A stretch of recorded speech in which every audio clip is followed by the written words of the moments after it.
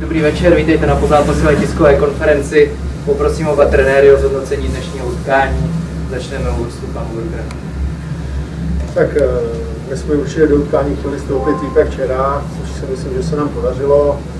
Eh, Ve druhé třetině eh, si myslím, že jsme hráli nejlepší úsek zápasu, vytvořili jsme si dost šancí, myslím že i víc než jenom na dva góly. Ve třetí třetině, když jsme vedli, tak jsme se trošičku zatáhli a, a ten výsledek jsme ubránili. Děkuji, poprosím domácího trenéra pana Kolaříka o zhodnocení.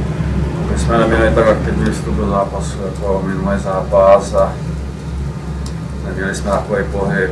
Třetina skončila 0-0. Druhá třetina se nám vůbec nepovedla.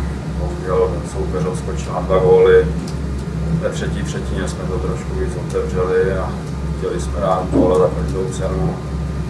Bohužel jsme dostali na 3-0, pak teda jsme tam skórovali dvakrát a dneska to nestačilo. Bohužel série pro nás nekončí a jdeme se ještě na to